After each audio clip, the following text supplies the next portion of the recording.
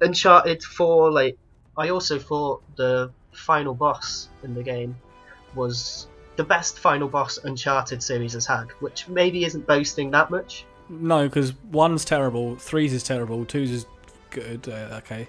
Yeah, I'm off. I, I think two's is the worst part of that game by far as well because it's so generic. Like, it's like, hey, you've played this great game, now have a really generic boss fight where you run around in an arena and shoot explosive And it's easily the hardest bit in the entire game. Yeah. Whereas in four, it's finally like they were like, hmm, we've been doing final bosses and they haven't been that great. What if we didn't make a like generic final boss but had it as Yeah. this hybrid story QTE section? My only problem with the final boss is it introduces a mechanic that kind of frustrated me at first. And I wish that they'd maybe introduce that same mechanic as when you were like brothers or something when you're younger, playing with swords.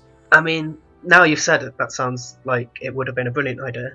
Yeah, so Naughty Dog, sign me It up. was just kind of out of nowhere. You had to learn how to do this, this sword fighting. Yeah, I mean, I thought it was quite forgiving. And if you made a mistake, you didn't just get stabbed and died. You could make a lot of mistakes. I probably died in the final boss as many times as I died throughout the entire Really? game. Yes. I don't think I did die in the final Actually, maybe that's so- a, that's- maybe that's an overstatement, but I did die about a good maybe ten times. Okay, so maybe this shows the difference between our experience of it, because yeah, I managed to not die during it and enjoyed it a lot more. Yeah, yeah. But yeah, I, I thought compared to past bosses, that was really nice. Um, the ending was really not like the after final boss part.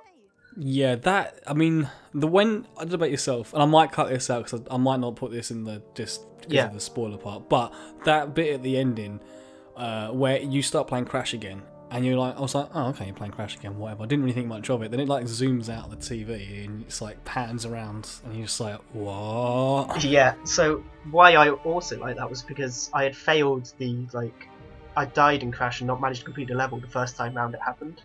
And Yeah, it came back at the end and I aced it and got that trophy for getting the high score. oh, I've not got that. So I was like, yes, it came back and I proved that I had become better at Crash while Yeah. playing Uncharted 4. um, but yeah, when you then get to play that ending segment, that was that was really nice and like really rounded off the story for me. I thought, yeah, yeah.